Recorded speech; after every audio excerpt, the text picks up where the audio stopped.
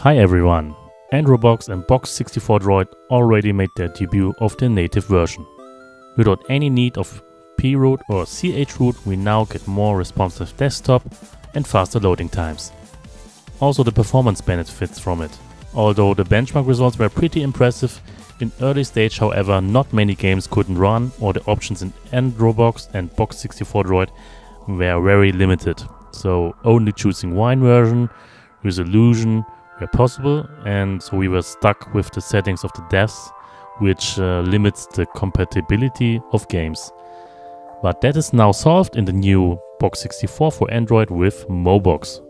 Some of you may know it already as Project Secret, which was in the wild for a while. So only chosen testers got a sneak of this project and the result was very promising.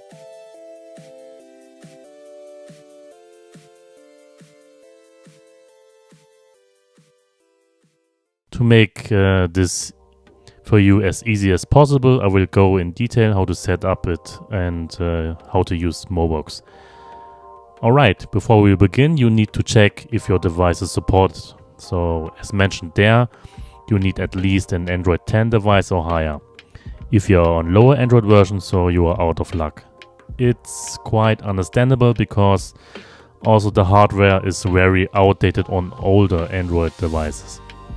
Next. If you are a Mali user, then you are limited for games till DirectX 9 because you can only use VirGL. So you are, you are not able to use Vulkan with DXVK. For DXVK, you need a Snapdragon device. It's with uh, the Adreno 610 and higher GPU. And many people already asked it. No, it doesn't need any root. Then there's the known issues part. Some of you might have a Termux app crash and you can solve it with this script. Also in older devices there may be a problem within the installation uh, installation causing you waiting forever to load or it's very long. But uh, you can uh, change it in the compatibility settings to uh, reduce the installation of PhysX and VC redist. Now it's now um, a known problem too. Users of a Snapdragon 845 can't use DRI3. Mm, some of you in the past already said uh, you got a black screen or it doesn't load the desktop. So you definitely need to disable it to uh, run Mobox. Okay, if your device is within the range of requirements, we can now begin within the installation. Okay, I put a link of uh, GitHub for the Mobox so you can open the page right away. Um, before you can use this script, you need to install these three apps. It's uh, Termux, Termux X11 and Input Bridge. So download each of them and install it into your device. And then we see.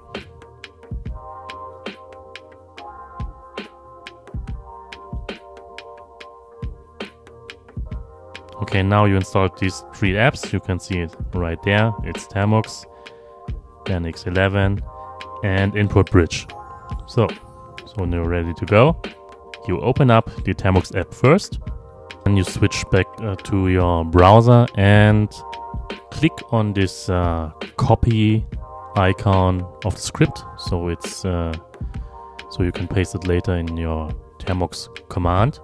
And in and in the Termux app, uh, please allow the permission for it. It need to use your device storage access. Otherwise it doesn't work. And let's wait until it's uh, finished.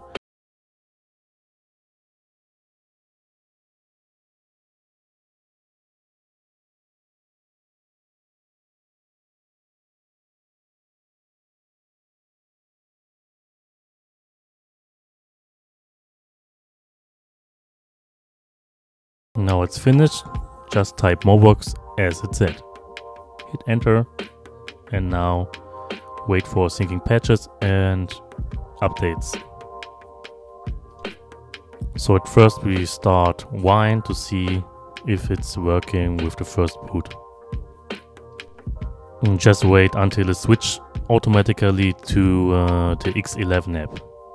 So it says this may take a few minutes on my ST-HN1 and SD870 it was very fast but on my uh, Xiaomi Pad 5 for example with a Snapdragon 860 it has lower storage speed so it uh, really take uh, several minutes so please wait uh, patiently until it's finished. Don't force close the app otherwise um, you may get an error or may reinstall Mobox again. The message, by the way, uh, with can't open display, you can ignore. Um, I don't know why it's displaying, but it will work later. So you see, I fasten up the video and you can see it, it takes really long time to load. And that's why it's um, described in uh, the known issues. So if you are getting stuck in this scene like that, um, you have to change in the compatibility settings before you run it for the first time.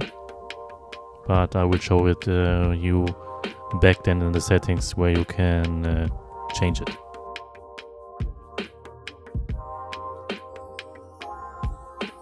So if you encounter the same issue like me in this section, if you see only the mouse cursor or you see just an X, um, just go back to the Termux app, hit the 1 value and hit enter to end Mobox and start trying it again.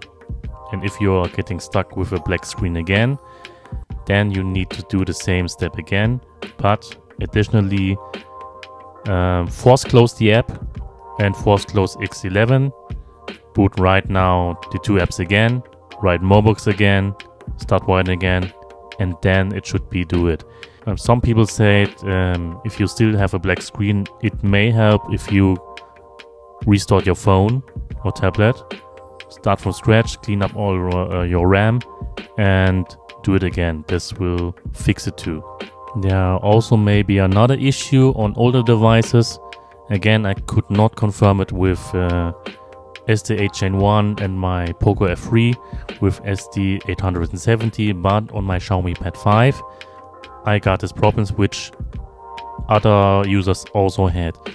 So if you are running Mobox, got in your desktop, it may be the possibility that you are um, TF, um, that your file manager won't show up and will crash your Mobox. So you all you have to do is restart the app again and restart box Mobox again. Maybe it's an issue with Mobox, I don't know, but uh, that's the way you can fix it. Also, if you are moving your mouse cursor to the to the start button at the bottom. Some users also said this that the screen goes black and you also see the, the cursor only and then it failed again. So there needs to be another setting to do. So close Mobox again, go then go then to settings and we now go to the dynamic settings default uh, preset is 41 you see 41 and in this case just type the value 2 or 3 some of them some of the users also said 3 works too but for in my in my test the value 2 works and then start wine again. This should be fixed. So um, mobox is set up right out of the box already with DXVK and turnip. For Mali users, you may set another driver because of VirGL, and you can also use only WineD3D. Okay, before you start with any game or installation of games, please check it with a benchmark first if your device is capable of rendering any 3D objects. So therefore you I will put it in a link later it's the uh, environment mapping DirectX 9 benchmark. you need to copy that in your drive C. In drive D, it will not work. So copy it to drive C, open the sphere map or the sphere exe, and if you're getting an error message or something other, then your device is either not supported or your settings are wrong. Sphere map is running, then you have done. You can now begin with your game test installation and we see now get to the next step.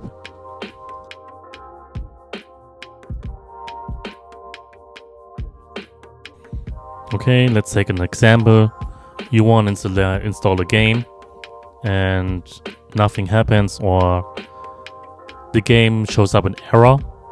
This can be easily fixed with another dynamic setting. So you can close Mobox first.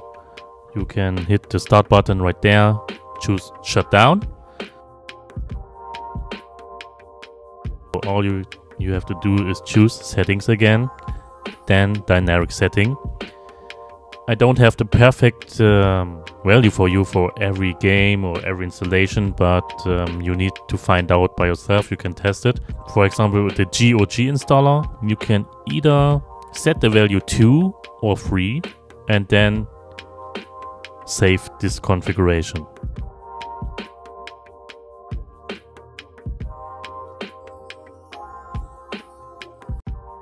Going to desktop,